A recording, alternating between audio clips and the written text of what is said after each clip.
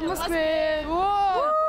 Почти пять тысяч ямальских восьмиклассников участвовали в региональном сетевом проекте «Юнартика». Они прошли пять этапов отбора, и в каждом важно было научиться работать сплоченной командой. За победу боролись 215 коллективов. Сначала нужно было снять визитку про нашу команду, как мы называемся, кто мы и зачем мы. Делали свой проект, которым мы защищали, выступали. Проект сближает класс, делает его сплоченнее. Поэтому считаю, что это круто.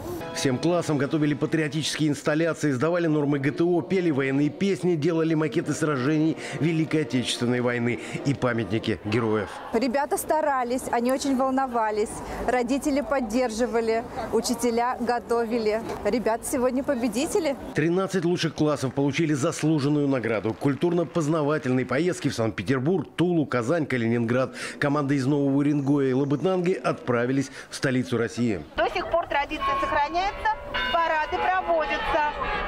И это для техники, которая ходит по Красной площади. Красная площадь, естественно, она навсегда в моем сердце, она всегда меня восхищает. Была обзорная экскурсия по всей, вокруг Москвы. Мы были на Воробьевых горах, видели МГУ. Мы посещали Кремль.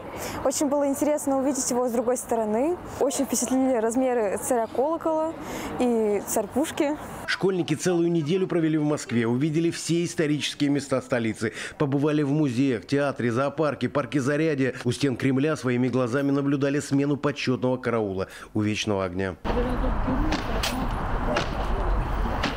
Караул э, сменяется каждый час. Мы как раз повезло попасть под это событие. Ну, гордость, честь за страну, за то, что есть такие люди.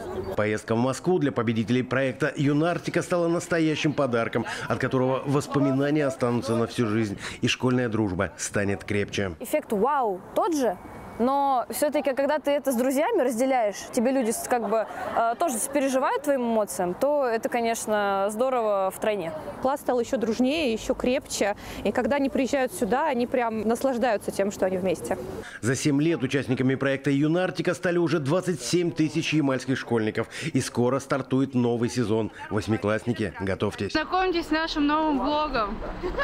Победителей ждет суперприз. Андрей Жижин, Олег Кабрицкий. Программа «Время и мало». Москва.